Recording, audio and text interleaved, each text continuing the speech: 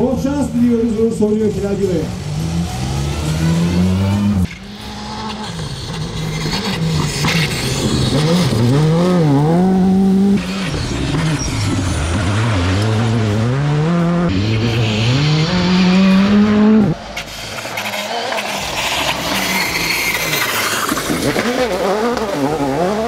Oh,